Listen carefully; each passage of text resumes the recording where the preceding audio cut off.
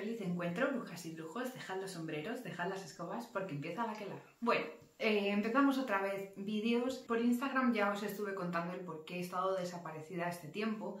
Y es que, eh, bueno, yo desde pequeña siempre he tenido mucho estrés y mucha ansiedad, soy muy propensa a ello. Eh, entonces, digamos que han sido unos meses muy complicados, con muchos cambios, con muchas cosas a resolver, el fallecimiento de mi abuela, entonces, bueno, he tenido que eh, parar para entender un poco eh, bueno, lo que necesitaba mi cuerpo, lo que necesitaba mi mente y saber por qué, o cómo, mejor dicho, controlar esos picos de ansiedad que me habían dado, que hacía mucho que no me daban.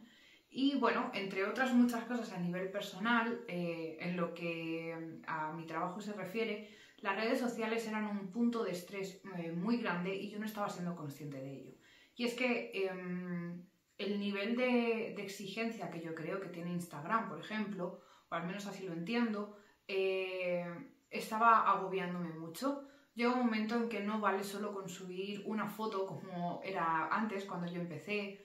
Hay que subir reels, historias, eh, cuidar mucho la estética, ser constantes en, muchas publicaciones a la semana para que te recomiende y para que bueno, pues puedas crecer o, o puedas estar ahí, ¿no? Pero era frustrante porque yo sabía que cuando a lo mejor tenía una temporada que no subía un reel o no subía con tanta frecuencia, de alguna manera eso te penaliza y me llegaban mensajes pues de que no notificaban mis vídeos o de que mm, había cosas que se habían perdido y no lo habían visto, ni siquiera las personas que me siguen, no hablo de gente que no me siga. Entonces eso es muy frustrante porque lleva mucho trabajo, al menos eh, para mí lo lleva, yo no consigo eh, a lo mejor grabar un reel en menos de eh, media hora, una hora, depende de, la elaboración, ¿no? Pero es eso, mucho tiempo invertido, mucho cariño, mucho trabajo para que sea algo que se va a ver 90 segundos y que pasa al olvido. No es como en YouTube que todavía me siguen llegando muchos comentarios, visualizaciones en vídeos de cuando yo empecé de hace ya tres años y, sin embargo en Instagram es como contenido de usar y tirar, vamos a decir. Entonces, em, yo no os quiero contar algo que, no practique o que, bueno, que no, crea. Al final, eh, mi base es contaros pues mi experiencia, lo que yo voy investigando, lo que eh, me ha parecido útil, lo que hago en mi práctica y no siempre tienes eh, esa cantidad de contenido como para estar subiendo constantemente, a menos que sea pues eso, algo muy pequeño que no tenga valor. Entonces, bueno, todo esto es para deciros que, bueno, que por eso estuve desaparecida, necesitaba descansar, necesitaba ver cómo quería replantear mi trabajo, porque donde eh, yo soy feliz realmente es ayudando a los demás, ya sea con las terapias de tarot de, registros y de astrología, con los cursos y los talleres que me están gustando mucho, y por supuesto en crear contenido. Yo estudié cine, era lo que realmente eh, había estudiado para trabajar o dedicarme a ello. Por lo tanto, la fotografía, grabar, la edición, el arte en general me encanta, pero eh, no a esos niveles de exigencia porque habrá veces que pueda subir muchas cosas, habrá veces que no. Así que, eh, bueno, la decisión fue que iba a tomarme con más calma las cosas. En el caso de YouTube no debería haberse afectado, ni tampoco en Patreon, pero bueno, eh, en el tema de Instagram y demás redes, eh, creo que lo voy a tener como algo eh, opcional, vamos a decir, si me da tiempo bien, si no, pues es lo que hay. Y os cuento todo este rollo para poneros un poco al día y para que em, entendáis el porqué de este vídeo. Hasta ahora pensaba que solo os podía subir cosas relacionadas con la magia y es como que yo misma me limitaba mucho. Y al final todo esto empezó porque yo os compartía mi visión del mundo y hay más allá eh, de la magia y la espiritualidad, aunque siempre eh, están incluidas y siempre van a estar presentes, eh, pues en este caso quería hablaros de técnicas de ansiedad, técnicas de, crecimiento personal, con ese enfoque mágico que siempre le damos, pero bueno, hablar de algo que a lo mejor no es tan mágico puro o no llama tanto la atención como un ritual de protección, pero creo que es muy útil para el crecimiento personal y al fin y al cabo la espiritualidad es eso, es intentar ser mejor y estar mejor con uno mismo.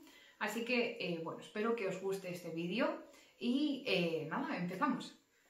Antes de nada, deciros que esto no es un vídeo médico, ni muchísimo menos. Eh, yo no soy psicóloga, no soy médica. Es verdad que he contrastado esta información con un psicólogo licenciado, pero esto es más bien mi experiencia, lo que a mí me ha servido y me, me está sirviendo en este momento como persona que eh, siempre tiene esa lucha con, la ansiedad y con el estrés yo lo pongo a disposición para que, bueno, pues os pueda ayudar un poco, tengáis por dónde empezar si estáis un poco perdidos.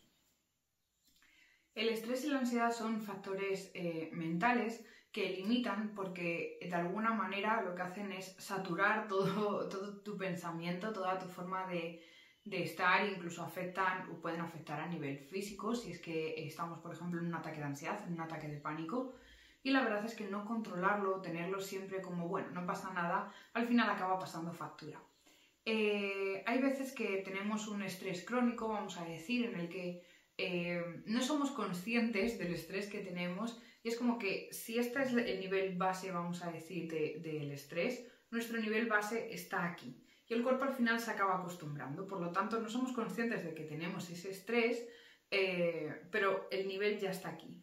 Cuando ocurre algo que no podemos controlar, con lo que no contábamos, o, algo que nos da un pico de ansiedad, en vez de tener todo este margen para poder eh, aceptarlo, estamos aquí arriba. Por lo tanto, eh, el límite para que se dispare ese ataque de ansiedad es mucho más corto. A mí esto me costó mucho entenderlo porque eh, cuando me decían constantemente que tenía estrés, que eh, mi problema es que vivía en un estrés constante, no lo asimilaba porque yo no me sentía estresada. O sea, no me sentía eh, con la ansiedad como me siento otras veces. Hasta que pude entender que realmente sí que tenía un estrés constante y que por eso se me disparaba tanto los picos de ansiedad. para solucionar este tipo de cuestiones, hay veces que es más largo, otras veces es solo durante un periodo de tiempo pequeño porque hemos sufrido algo que, nos ha sacado un poco eh, de nuestro estado normal, de nuestro estado neutro, o simplemente ha sido un pico de ansiedad puntual o un pico, un ataque de pánico, por ejemplo, por algo en concreto, pero no es un problema general en nuestro día a día. Yo os lo que, eh, los tres puntos que os voy a dar es para trabajar la, ansiedad y el estrés a tres niveles, vamos a decir el eh, día a día, es decir, para solventar ese estrés del que no soy consciente o para estar relajado durante el día a día, aunque no me esté dando un pico de ansiedad, cuando tenemos ese pico, ese ataque, ¿qué podemos hacer para intentar bajarlo y calmarnos? Y luego un poco eh, cómo podemos trabajar todo esto a nivel espiritual, a nivel mágico. Una de las herramientas que he sido consciente que más me está ayudando es precisamente trabajar eh, eso, la ansiedad en el día a día. No sé si es eh, porque en mi caso me funciona bien o que realmente eh, te preparas para ello, pero lo cierto es que es un punto que me parece muy importante. Os pongo un ejemplo, a mí siempre me decían, cuando te dé un ataque de ansiedad, medita. y más siendo una persona que medita habitualmente, y a día de hoy a mí no me sirve meditar cuando estoy en plena crisis o en pleno ataque de pánico o ataque de ansiedad, porque no me concentro, porque mi mente no es capaz de relajarse hasta ese punto y al final eh, simplemente no puedo. Pero lo que sí me ha sido muy útil es en esa práctica eh, diaria, vamos a decir, o cuando estamos en un estado normal, para ir bajando esos niveles que hablábamos al principio y en vez de estar aquí, pues a través de la meditación ir bajando. No quiere decir que tengáis que meditar todos los días si nos gusta, pero sí como eh, algo más frecuente, pues a lo mejor un día sí, dos no, eh, y no hace falta que sean meditaciones súper largas o con un propósito, simplemente eh, relajarse a lo mejor meditando durante cinco minutos está bien para empezar. La idea es que puedas bajar ese nivel de, de ruido mental, ¿no? Y poder ir teniendo momentos de tranquilidad. Esto quiere decir que si en algún momento necesitamos tirar de la meditación va a ser mucho más fácil porque hemos creado ese hábito. Por ejemplo, os cuento lo que yo haría o cómo lo enfocaría. Y es, en lugar de meditar cuando me está dando el ataque de ansiedad, si por ejemplo eh, eh, me da miedo las reuniones sociales grandes, ¿no? En vez de meditar en plena reunión social que no voy a poder, lo voy a hacer antes de ir a esa reunión. Todavía no estoy en, ataque de ansiedad, vamos a decir, estoy nerviosa, pero no tengo ese ataque, pero ayudo a que se vaya bajando y tener más margen de actuación. Otra herramienta que para mí es mi favorita eh, y es en la que estoy basando todo es en escribir un diario emocional. Ya sabéis que a mí me encanta escribir, que me encanta el tema de las agendas, del de, eh, trabajo de sombras, de, bueno, en general, todo lo que tiene que ver con, escribir. Y em, el tener un espacio donde puedo soltar todo sin que nadie te juzgue, sin simplemente soltar, está genial. Primero para desahogar y de alguna manera em, sacar todo eso que nos está dando vueltas en la mente, que suele ser uno de los primeros problemas, sino también para analizarnos y ver un poco por dónde vamos. Eh, yo, por ejemplo, mi diario es este, o sea, es bastante grande porque hago mucho análisis eh, y lo combino bueno, con astrología y demás. Entonces, eh, algo que para mí está muy bien, por ejemplo, es escribir entradas. Hay días que escribo una página entera porque han pasado varias cosas o porque he estado más ansiosa. Otros días es nada, una entrada chiquitita, pero sí te va ayudando a ser más consciente de todas esas emociones y de todos esos pensamientos. Yo personalmente lo hago antes de irme a dormir porque uno de mis problemas o donde eh, más suele atacarme esa, ansiedad, ese estrés, es eh, precisamente antes de dormir. Eh, es cuando más nerviosa me pongo y afecta generalmente a tener pesadillas, insomnio, escribiendo antes de dormir eh, he notado que me ayuda mucho a estar más relajada porque es como que saco de mi cabeza todo eso a lo que le estaba dando vueltas a lo largo del día y ya voy mucho más relajada a la cama. Yo os cuento esto por si a vosotros también os es de ayuda, eh, así como hacer pequeñas listas de afirmaciones, visualizar aquello que queremos conseguir, agradecimientos, son pequeñas prácticas de, nada, de un minuto, pero que sí nos ayudan a mantenernos enfocados en el aquí y en el ahora. Otra idea sería hacer ejercicio constante o encontrar una actividad que te guste. Esta es la última que yo he incorporado eh, y es todos los días dedicar un espacio a hacer una actividad que me guste. No tiene que ser siempre la misma, va cambiando, a veces será pintar, otras veces será eh, poner la música todo trapo y cantar, eh, otras, eh, no sé, dar un paseo por la naturaleza, ver una película, simplemente es saber que a lo largo del día voy a tener un espacio en el que em, voy a hacer algo que me guste. A veces podrá ser más tiempo y otras menos. Y también es importante que este espacio generalmente lo pongamos al inicio del día o lo antes posible. ¿Por qué? Porque tendemos a dejar lo último, o sea, nos dejamos a nosotros mismos los últimos. Empezamos con responsabilidades que hay en casa, cosas que tengo que hacer, el trabajo, los estudios, eh, los compromisos sociales y al final el espacio que nos dejamos a nosotros mismos casi siempre es al final del día, cuando ya estamos muy cansados y al final lo que nos apetece es irnos a la cama o directamente ni nos da tiempo.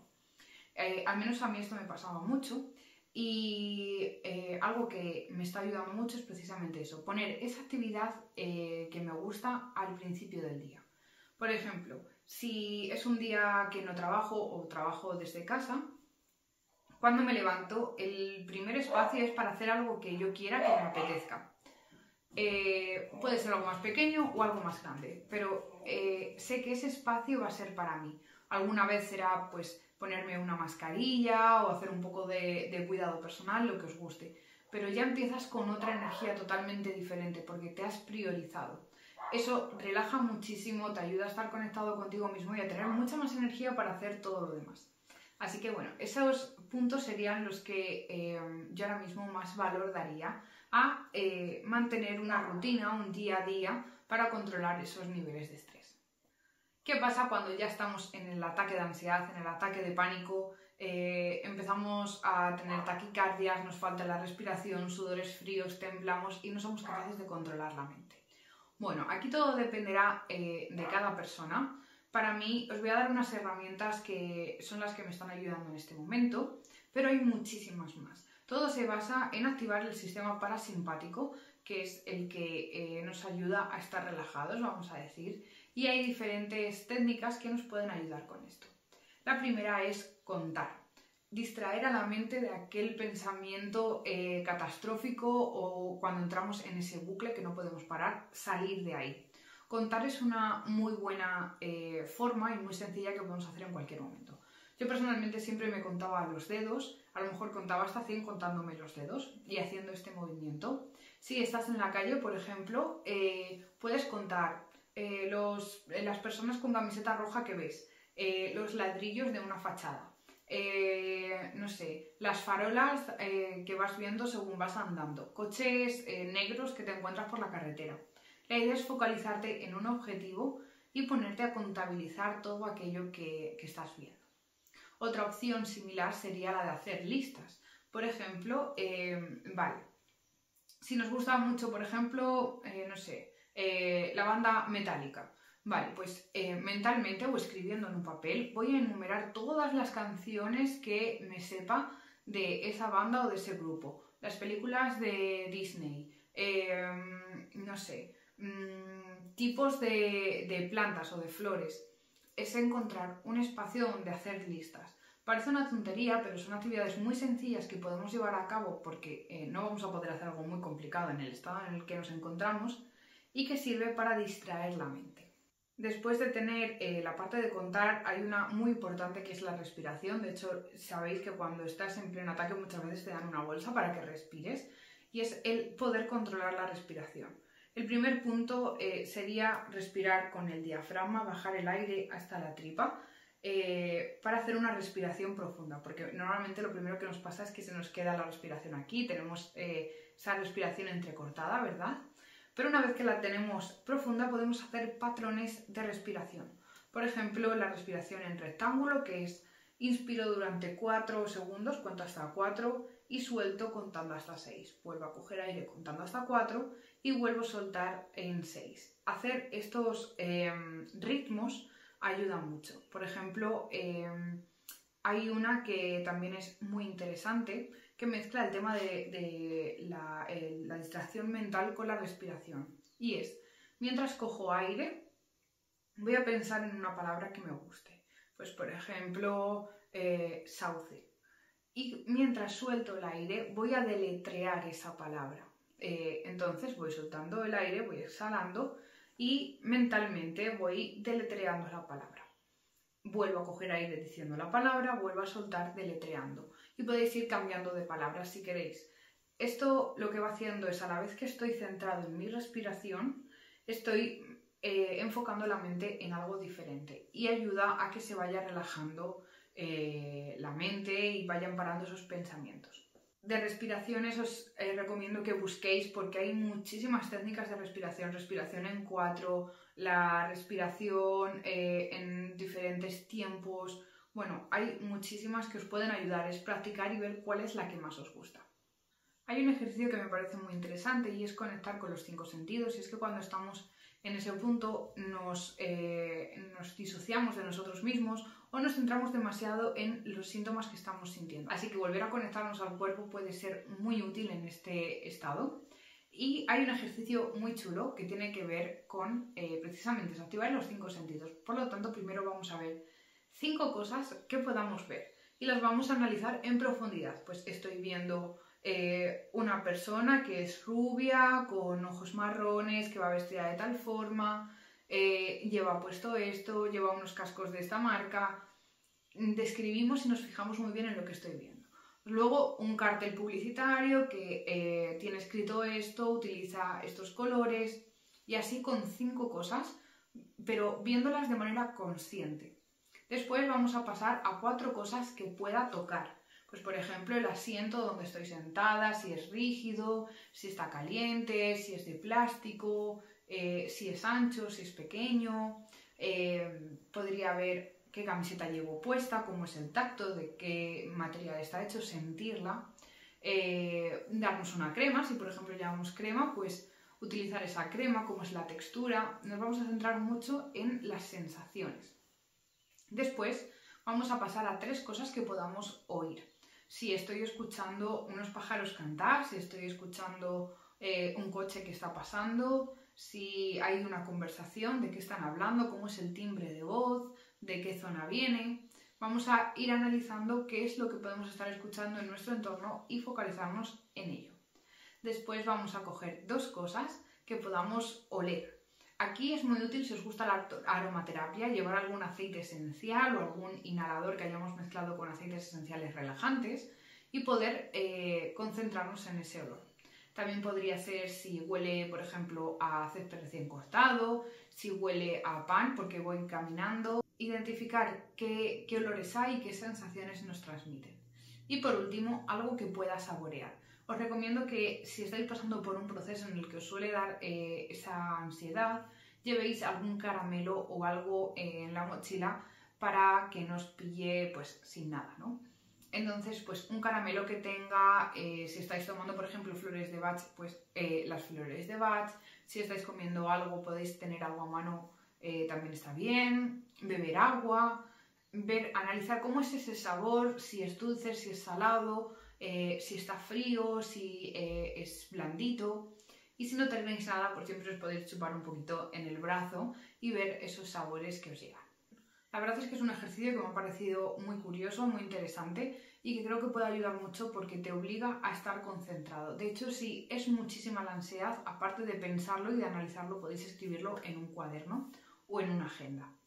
Eh, y esto enlaza directamente con eh, el siguiente punto, y es que si tenéis una agenda para apuntar cuando estáis en ese momento, el escribir rápidamente todo lo que os está pasando por la cabeza, vomitarlo, sin pensar en la letra, sin pensar en que se entienda, sin pensar en lo que estás escribiendo, simplemente ir soltando todo lo que se te ocurre y todo lo que eh, está sucediendo en tu mente.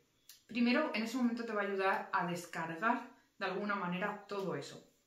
Y una vez lo tengas, eso nos va a servir después para, por un lado, hacer trabajo de sombras, analizar cuando ya estamos tranquilos eh, hasta qué punto estábamos em, sacando de contexto las cosas, que suele pasar cuando estamos eh, en una crisis así, que todo se magnifica. Podemos identificar miedos o patrones para poder hacer trabajo de sombra después y poder encontrar una solución. Podemos crear técnicas que nos ayuden a relajarnos si es algo recurrente. Eh, por ejemplo, pues me pongo nerviosa o me da ansiedad siempre que me monto en el tren. Ver qué pensamientos surgen cuando estoy en esa situación y qué herramientas puedo tener para eh, sobrellevarlo o poder trabajarlo. Si es que estáis yendo a algún terapeuta, pues podéis utilizar todo eso para dárselo y eh, crear una terapia que os ayude a trabajarlo. Y por supuesto, eh, esa lista quemada podréis hacer pequeños rituales con ellas, que si queréis, dejadmelo en los comentarios y ya sea por aquí o por Instagram, pues os cuento esos rituales que podemos hacer para liberar y para ayudar a desahogar toda esa parte. Dentro de la parte mágica, mis aliados serían las plantas a través de la aromaterapia, ya sea eh, por oler eh, con aceites esenciales, ya sea por infusiones, si es que os gustan, el poder tomarlas y trabajarlas con ellas, o eh, a través del incienso quemándolas si también os gustan. Las plantas ayudan a relajarse muchísimo, tanto por propiedades como por aromas. Plantas como la manzanilla, la lavanda, la melisa, Mm, la hierbabuena, todo lo que sea mentolado como el, eh, o fresco, como el eucalipto o el pino, ayuda mucho a despejar la mente. Entonces trabajaría con ese tipo de plantas que me pueden ayudar eh, a estar relajada, no solo a nivel medicinal, sino a nivel mágico, creando un vínculo con ellas. Otras serían las flores de Bach, que si no las conocéis eh, son unas gotas homeopáticas muy interesantes y hay diferentes fórmulas para diferentes momentos. Así que os animo a que busquéis información porque es muy interesante. A mí la verdad es que me están ayudando mucho. Los minerales son otros grandes aliados, tanto por el hecho de poder tocarlos, lo que decíamos, el eh, sentir y volver a conectar con nuestro cuerpo, como las propiedades mágicas que tienen. Eh, ¿Cuáles pueden ayudarnos? La matista para mí es clave en esos procesos. Eh, si tenemos que hablar de tema mental, por ejemplo, pues el lapislázuli para relajar la mente. Eh, no sé, hay diferentes minerales que pueden ser de ayuda y que eh, no solo por eso, por sus propiedades, sino pues el llevarlos encima está bien. Yo personalmente, por ejemplo, como os decía, me da mucho a la hora de dormir, entonces tengo una matista grande, un canto rodado, que aparte de tenerlo ahí, pues lo cojo, lo toco, a veces me duermo con él en la mano si es que es muy, muy difícil dormirme y ayuda muchísimo a relajarse. Incluso podéis consagrarlo eh, o hacerle un pequeño ritual para que encierre esa magia eh, relajada en un momento en el que estéis calmados, por ejemplo, hacer el ritual y traspasar toda esa calma y toda esa paz mental al mineral como si fuera una pequeña cápsula que al tocarla pues se activa. Y por supuesto, como os decía, el trabajo de sombras me parece que es clave el poder meditar, el poder profundizar en ello. Y, bueno, eh, yo creo que ahí se entiende mucho el por qué nos está pasando, qué es lo que podemos hacer, de dónde viene, saber los orígenes, todo eso ayuda y creo que sería clave. Ya sabéis, os dejo por aquí que tenéis vídeos del trabajo de sombras por si queréis echarle un vistazo. Y bueno, en resumen, eh, esto es el vídeo, eh, son pequeñas herramientas para que tengáis por dónde empezar. Eh, parte de ellas las he sacado de este libro, de la ansiedad a la calma. os recomiendo muchísimo, si estáis pasando por un periodo en el que tenéis ansiedad o tenéis estrés, que vayáis por este libro. No es publicidad, yo me lo compré por mi cuenta, pero me ha ayudado mucho. Es de Alison Seponara, de la editorial Diana. Y es todo lleno de ejercicios, o sea, no os preocupéis si es que os cuesta mucho leer, no es teórico, os cuenta cuatro cosas teóricas para que podáis entender un concepto, pero todo tiene que ver con, ejercicios prácticos, con técnicas de mindfulness, eh, preparado para eh, el transporte, para una reunión social, eh, si vas al médico, si estás en el coche, mm, no sé, un montón de, de ejercicios y de técnicas de respiración vienen también un montón y te da además para ampliar si es que quieres seguir ampliando. Para mí ha sido un gran aliado estos meses y la verdad es que os lo recomiendo muchísimo. Así que bueno, ahí lo tenéis por si os apetece. Eh, ya os digo, es un, es un libro de ejercicios, es muy práctico y, creo que os puede gustar y ayudar. Este vídeo era un poco de toma de contacto, no sé si os interesan este tipo de temas de crecimiento personal, aunque le demos el toque mágico. Eh, y bueno, os lo quería hacer un poco resumido para probar qué tal.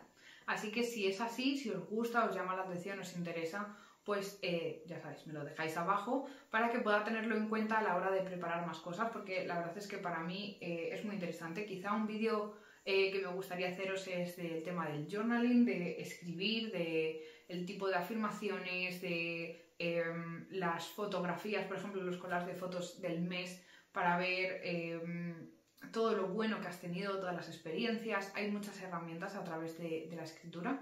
Y si es así, pues, por ejemplo, podríamos hacer un vídeo, no sé. Eh, yo lo dejo abierto a ver qué os parece, qué os gusta y, y lo tengo en cuenta.